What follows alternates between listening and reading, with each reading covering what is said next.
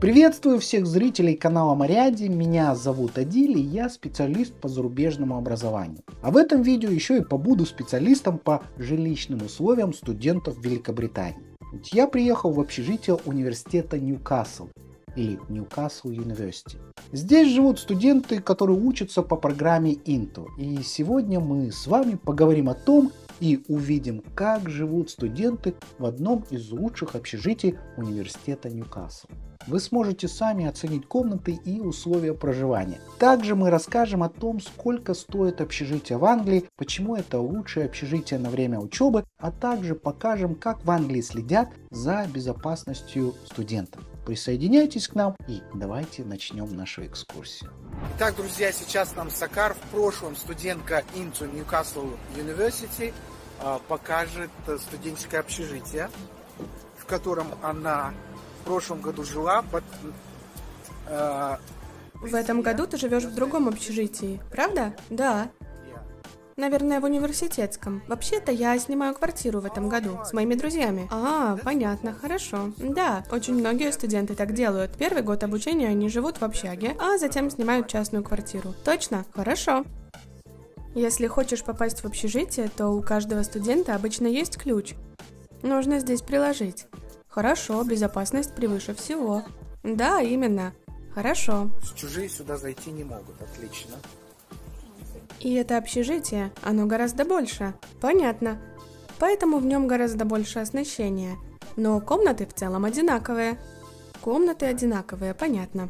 Разница лишь в том, что если студенты выбирают комнату-студию, то она точно будет здесь. То есть в разных общежитиях разные стандарты комнат. Хорошо. Ага. То есть может быть просто комната, а они все с собственной ванной. Да, у нас есть совмещенная студия, одноместная студия и одноместная комната. А можете сказать что-то по ценам? В ценах я не очень уверена. Вы не уверены, понятно. А мы уверены и с радостью делимся с вами. Конкретная стоимость общежитий в университете Ньюкасл зависит, конечно же, от типа комнаты. И цены, конечно, актуальны на момент съемки этого видео. За совмещенную студию стоимость составит 170 фунтов в неделю. За одноместную 215. А самый дорогой и уединенный вариант это одноместная студия. Обойдется в 270 фунтов в неделю. И в эту цену уже включена уборка, интернет и коммунальные платежи. А до аудитории пешком доберетесь всего за одну минуту. Не верите? Вот вам доказательство. Three, two, one.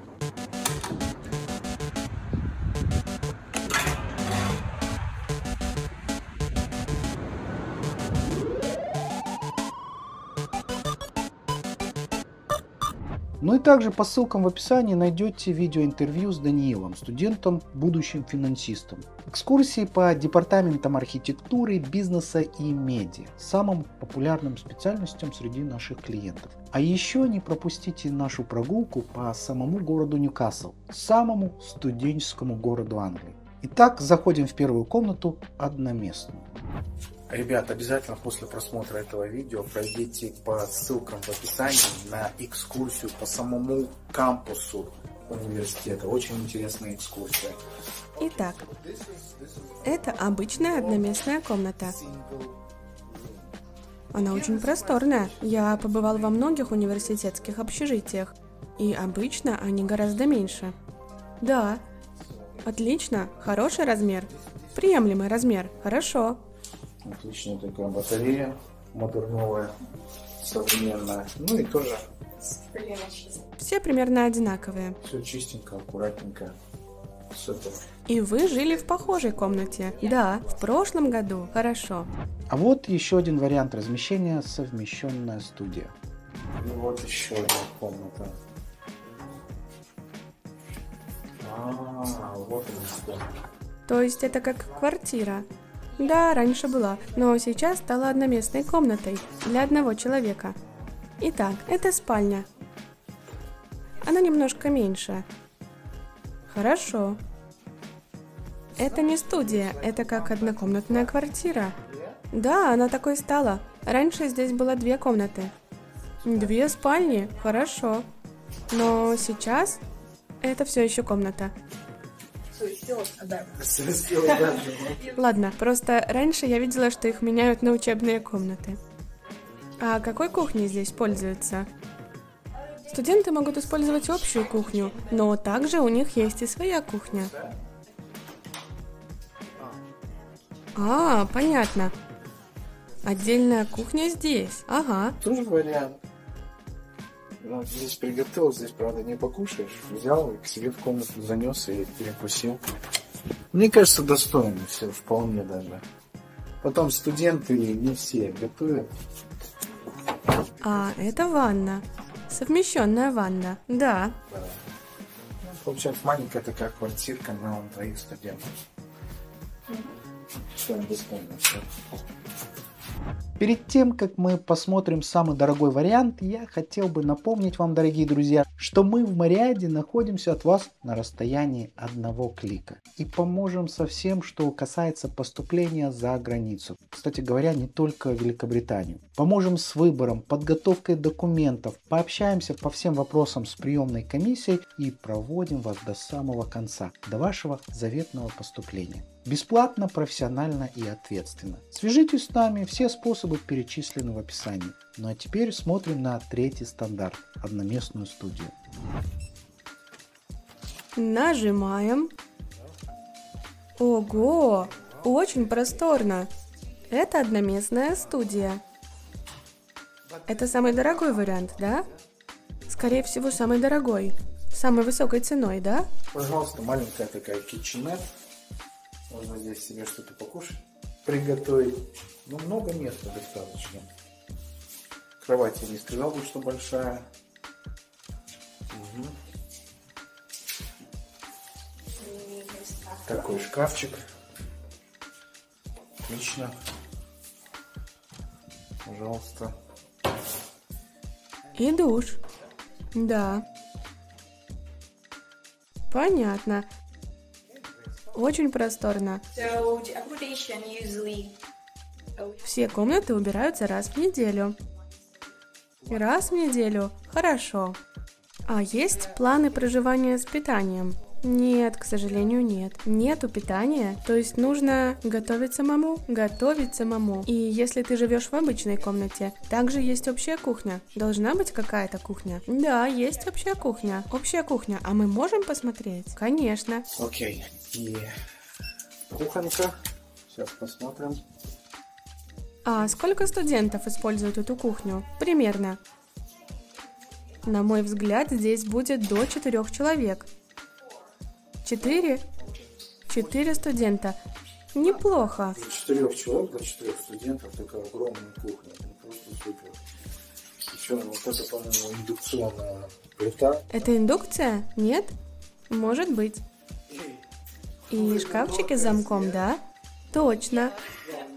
Но их не закрывают, но возможность закрыть есть, если хочешь. Нет, потому что мне кажется, что одна из моих коллег говорила мне, что иногда студенты оставляют там еду и уезжают. И она там портится. Да, поэтому нет возможности закрывать шкафчики. Вы так решили, их не закрывать. Хорошо, очень хорошо. И очень чисто. Да, кухню также убирают два раза в неделю. Это, это не шоу а, кухня, не для показа, не шоу, но очень, очень чисто. Значит, тоже здесь э, убираются, приходят уборщицы, ну основном ст- студенты такие, девчонки, наверное, чистенькие, такие, аккуратные.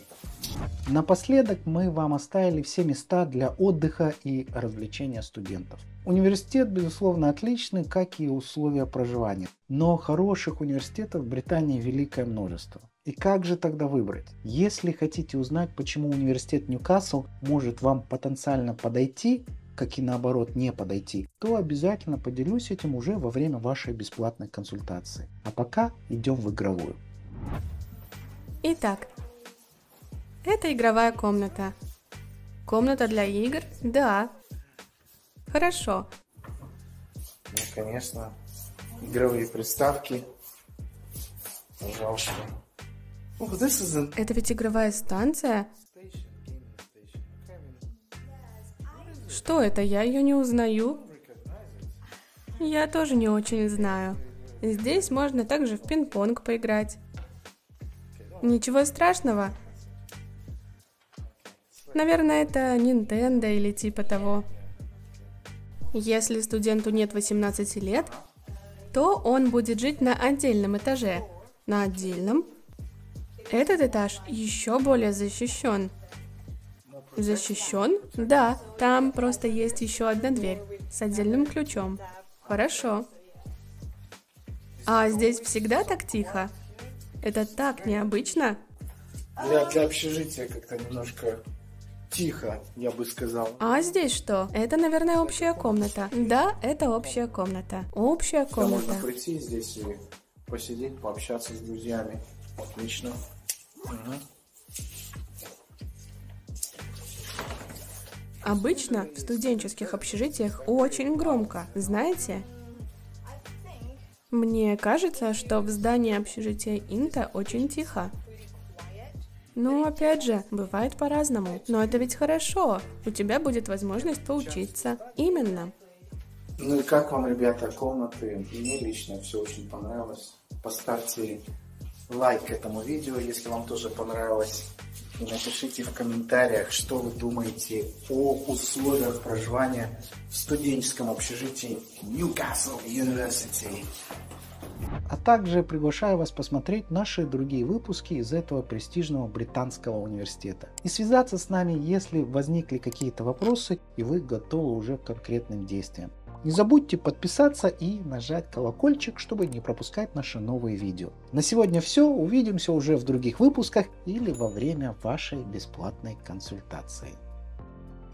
Авторский канал Адиль Ермеков. Все о среднем и высшем зарубежном образовании. StudyTube. Все, что нужно знать о зарубежном образовании. TravelTube. Путешествуй по миру вместе с нами. И, наконец, Talky Talky Club. Учить английский вместе с нами интереснее и эффективнее.